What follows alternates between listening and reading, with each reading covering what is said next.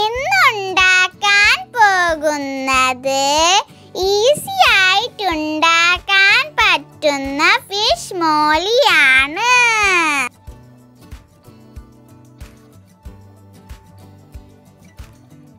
ഒരു ചട്ടിയിലേക്ക് രണ്ട് ടേബിൾ സ്പൂൺ വെളിച്ചെണ്ണ ചേർക്കാം. പട്ട ഗ്രാമ്പൂ ഏലക്കായ എന്നിവ ചേർക്കുക. ഒരു ടീസ്പൂൺ ഇഞ്ചി ഒരു ടീസ്പൂൺ വെളുത്തുള്ളി. ഇവ വഴറ്റിയെടുക്കാം. സവാള ചേർക്കുക. ഒരു സവാളയാണ് ഞാൻ ഇവിടെ ചേർത്തത്. വേപ്പില ചേർക്കുക. മൂന്ന് പച്ചമുളക് ചേർക്കുക. ഒരു ടേബിൾ സ്പൂൺ ക്യാരറ്റ് ചോപ്പ് ചെയ്തത് ചേർക്കാം.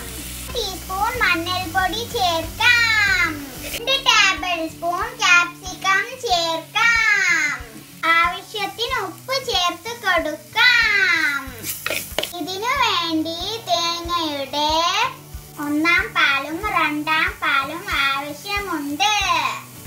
ആദ്യം രണ്ടാം പാൽ ഒഴിച്ച് കൊടുക്കുക.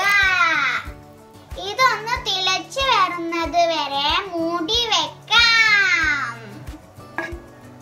കഴുകി വൃത്തിയാക്കിയ ഫിഷ് ചേർത്ത് കൊടുക്കാം.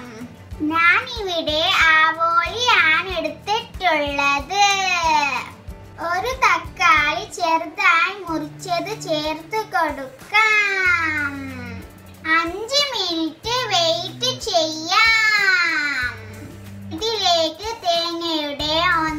പാൽ ചേർത്ത് കൊടുക്കുക.